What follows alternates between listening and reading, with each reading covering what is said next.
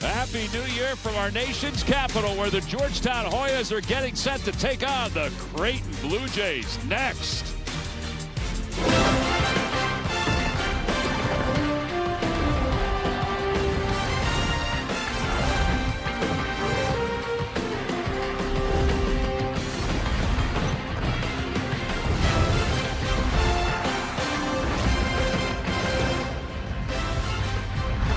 Basketball on CBS Sports Network is presented by Old Trapper Beef Jerky. We've got doubleheader action on CBS Sports Network tonight, and it begins here in D.C. as the Hoyas get set to host the Creighton Blue Jays.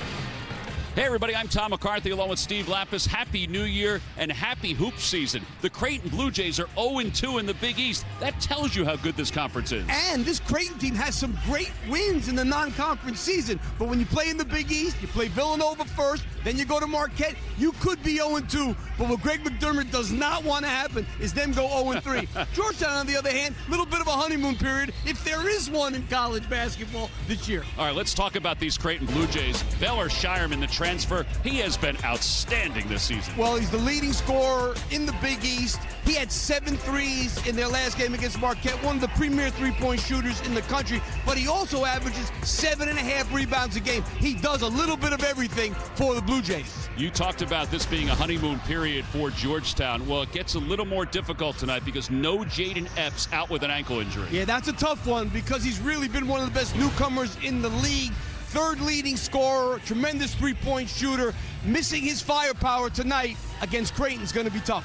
What kind of a burden does that put on Dontrez Styles? Well, this kid hardly played at North Carolina. Now he's averaging 15 points a game, shooting 41% from three. And as Ed Cooley told us before the game, he is a high, high level athlete. And Ed Cooley has seen mm. and had plenty of high, high level athletes. He actually put him in the top five of guys he's had over the years. Creighton and Georgetown.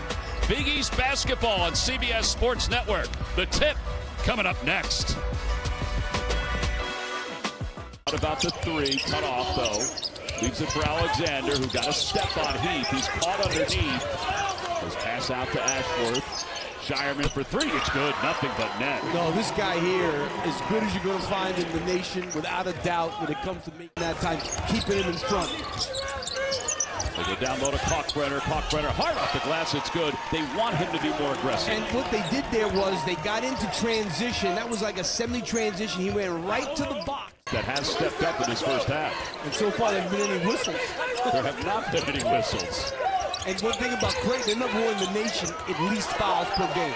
Ashworth from the corner, steps to his left for three. It's good. He splashes it home in front of the Georgetown bench. And when you're that good a shooter, right. we used to see him left and right, Tom. I, I don't know if I've seen four charges this year. They were so important when I was uh, coaching middle school basketball. Yeah. I'd give out gift cards if anybody would have a charge. Because now there's no such thing as a help defender right. taking a charge. That's they've, they've given up three layups like that. Their defense in the half court has been good, but they've given up those three. Brumbaugh and Bristol have had pretty good looks. Ashworth looking for the screen, crosses over, goes to Kalkbrenner. Farabello. Yep. It could have been, but it turned out to be, that would be a really good horse shot if you're knocking somebody out. Point for Georgetown, and the Hoyas are within two. Supreme Cook, the transfer from Fairfield, third team uh, all MAAC selection last year. You know what's a bizarre stat, Tom, is that uh, Creighton for the season only averaged 11 turnovers a game, but their opponents average seven steals. So if they're 11 turnovers a game, seven of them are steals. That is amazing. That is an amazing stat because those are live ball turnovers that end up layups. And now you see their offensive rebound.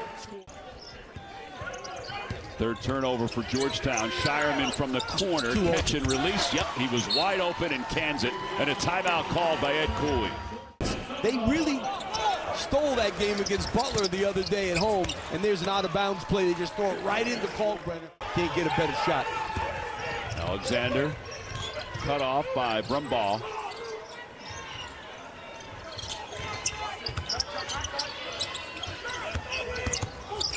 Alexander from the logo outside for Kalkbrenner for three. No good. And Scheierman with the rebound and the easy putback. That was athletic.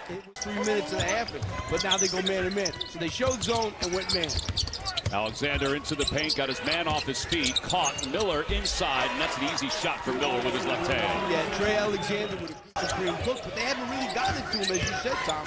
Alexander, little hesitation, little shake and bake underneath, lost control. Ashworth, he got a quick first step and lays it in. And that was too easy. Ashworth.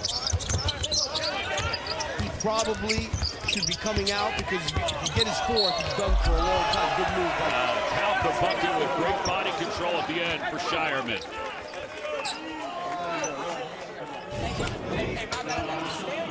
Scheierman with a good cut there. And, you know, Styles has gotten beat by him a couple of times. That we saw in the first half, got beat him for three. Now he beats him on the cut to the basket. Scheierman will go to the free throw line for Creighton's first free throw attempts of the night. And it's good. 35-28. One ball up top looks in. Nothing's there. Stolen away by Alexander. Alexander trying to go to length of the floor. Gets contact off the glass. It's good. It's the largest lead of the night for the Blue Jays. They go to Miller in the corner. Miller gets some separation, some space, and the answer. Cannot leave. That three is no good. It was a good look for Massoud. Alexander heading to the basket, and he lays it in, goes right to the cup, and a timeout called by Ed Cooley from the floor. Alexander bounce pass to and a two-handed flush. And one thing about King, he's a really good sub for Kalkbrenner, and he's going to be very good himself when Kalkbrenner's gone. Three from Traudt is too strong. Scheierman with another rebound. Scheierman trying to get a couple guys off their feet using his strong hand. No good. King with the offensive board. Yeah, that's one that Mutombo has to get. Alexander. Oh boy, beautiful finger roll.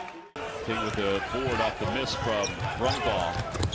And Scheierman, that's really good basketball right there. Yeah, but that doesn't make it really happy. That was really bad transition defense. They did not run back hard that time. 651 read by Kalkbrenner. Feeds Kalkbrenner who lays it in. They do that so well.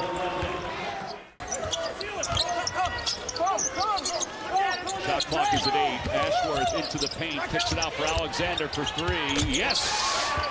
That'll do it. That may be it. Yep. 73-67. 25 step. Ashworth still in there. King, and King is able to lay it in. I'm not going to say that's a slam. It's 60, 15 seconds left. And Doetzler is going to dribble this one out. Greg McDermott's going to get to midcourt, wait for his buddy, Ed Cooley. Again, really close friends. Ed leaned on Greg last year when he was making the decision on what to do. And that'll do it. And Greg McDermott with the win tonight now moves into a tie with Rollie Massimino on the Big East all-time all-time wins list with 110. Scheierman, well, he finishes with 18 points and 12 rebounds.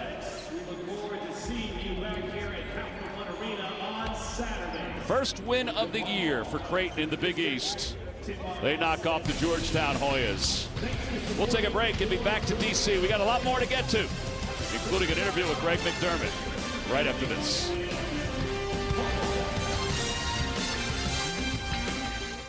Coach, I know we talked a lot about before the game about these turnovers, and you I know the work that you've put into it. Your teams don't usually turn it over. You had 11 in the first half, and then the second half got back to doing the things that you do.